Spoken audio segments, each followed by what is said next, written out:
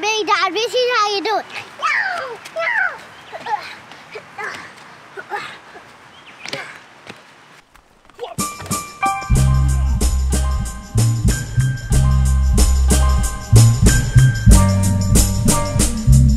This tomato plant might need some pruning, but I gotta take care of something else today. Now, we acquired this outdoor setting not long ago and it took about a week from order to delivery. And in that time, the plan was to restain the deck while it was empty and clear of anything on it. I didn't do it, so I gotta do it today. And now, I kinda have two ways to go about removing this table and this box full of Jordan's play stuff. Uh, one is be is dismantling all of this partially and removing it, or two, bring a friend, move it off the deck. But then I had a third idea, which kind of seemed more interesting and more fun. Now it seems more interesting and fun in my mind, but how it's gonna work out in actual application, let's find out.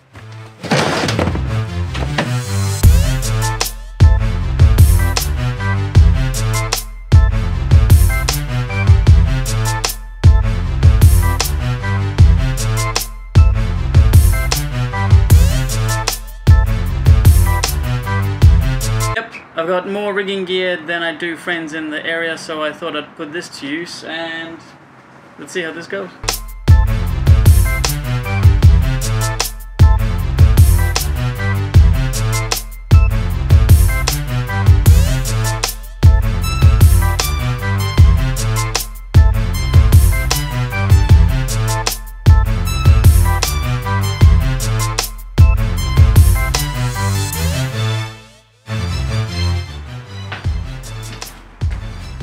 And we are hanging.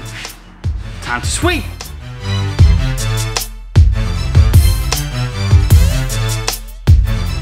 All right, so while the deck dries, gotta run to Bunnings to get some more of this stuff because I don't think there's enough.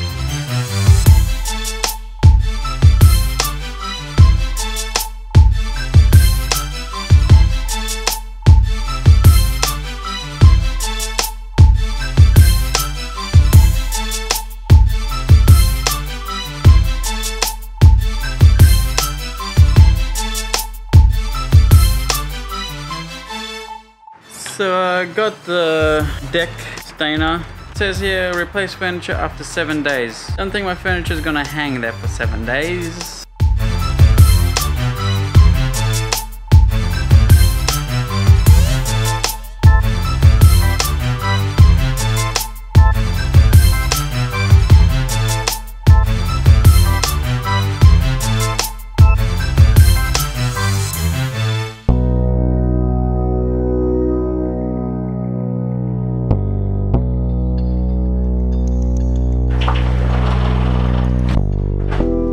Okay, so I did the two coats last night. Second coat, I was I did apply in the middle of the night, so I couldn't really see you very well.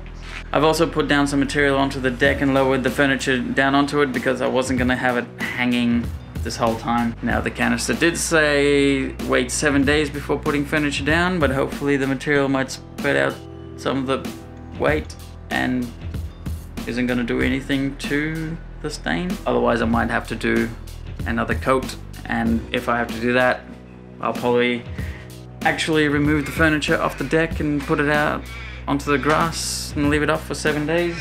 Now do I regret not doing that in the first place? No, not at all. I wanted to use rigging to help me complete a task and that's what I did so no regrets, only lessons. I'd do it again. It was fun. So I mentioned in the previous video that I was gonna talk about why I'm doing these vlogs in this video, um, and this is that part now. Now, I have a need to be creative and to constantly improve my skill. Being a stuntman, that would obviously mean getting together with a bunch of stunt performers and filming action sequences, fights, etc. Now the thing about getting a group of stunt performers together on a regular basis at one place It's not the easiest thing in the world. Everybody has their own schedules, family commitments. I have a family, so I need to spend time with them. So my free time doesn't always coincide with everyone else's free time, which is fair enough. But I still need to create. Because if I don't, after a while, my headspace starts to change and not really for the better. So why not make videos of myself and what's happening around me? I started doing this on Instagram stories, the idea for which I got from another Instagrammer who's a filmmaker. And his reasoning for making the videos was exactly what I was looking for, but just hadn't figured out for myself. Now, the beauty of stories is that you get 24 hours uh, lifespan for your videos. So if your video is good, people would have enjoyed it. If it's not so good, then it goes away and nobody has to remember it at all. Stories are also broken up into 15 second blocks, which can be used as a tool to improve quick storytelling. And the thing about filming everyday subjects is that it forces you to try and come up with new ways of doing it every time so that it would keep the audience engaged and stop them from swiping away straight away.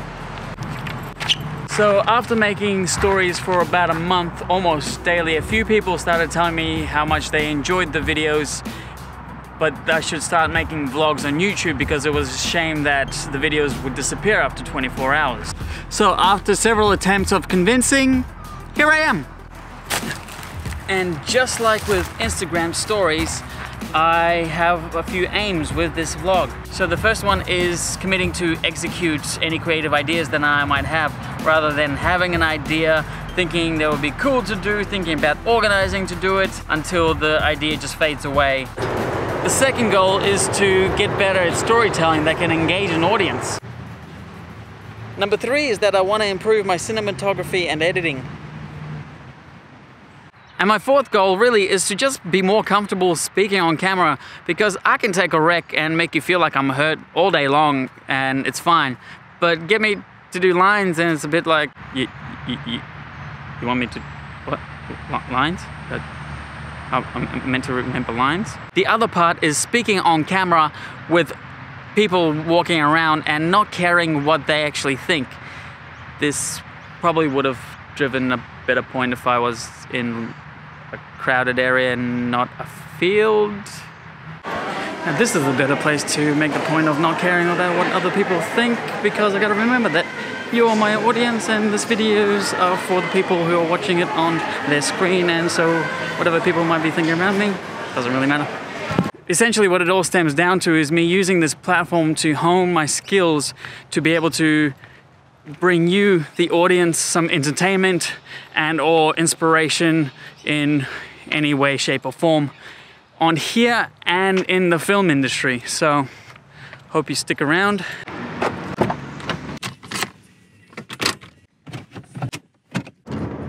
So now, how are these vlogs actually going to work and what's the format going to be? I haven't got a clue at the moment. I haven't really figured that out, but I figured that if I spend time worrying about that before actually releasing any of the videos, then I probably wouldn't have gotten around to actually making any of the videos because I think that none of them are good enough or like the idea wasn't perfect enough that I need more time to figure out the perfect format and yeah, nothing would eventuate. So I figured just jump in the deep end straight away. And at the moment, I don't feel like I'm stumbling through the dark. it is more like trying to train in pitch black. It'll slowly get there.